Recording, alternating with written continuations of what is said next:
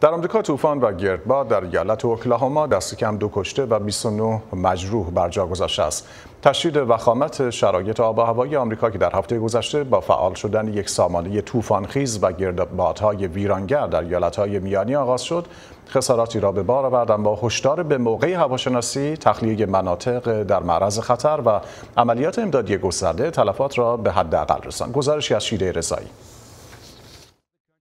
گردباد ویرانگر اوکلاهوما با وزش بادهایی به سرعت 140 کیلومتر در ساعت منجر به تخریب یک متل دو طبقه در این شهر و تعدادی خانه سیار در 40 کیلومتری غرب اوکلاهوما سیتی مرکز این ایالت شد. کارکنان امدادی بلافاصله به جستجوی آوارها و کمک مردم شتافتند. برای مردم دعا کنیم. آنها همه چیزشان را از دست دادن. دامنه خرابی ها به قابل تصور است. هنوز بعضی در بیمارستان و حتی زیر عمل جراحی هستند. مردم الرینو بسیار قوی و آبدیده هستند. ما پیشتر نیز چنین مصائبی را پشت سر گذاشتیم. به فاصله کوتاهی از این سانحه شهر تالسا در 160 کیلومتری الرینو هدف حمله طوفان قرار گرفت.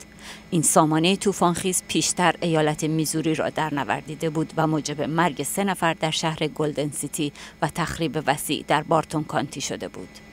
شهرداری الرینو می‌گوید همکاری مردم در تخلیه به موقع و واکنش سریع نیروهای امدادی و داوطلبان محلی خسارتهای جانی و مالی را به حداقل رساند. من احساس کردم درست نیست که تو خونه بشینم وقتی آدم های زیادی اینجا به کمک نیاز دارن ما براشون آب و غذا و مایحتاج ضروری آوردیم و توضیح می‌کنیم.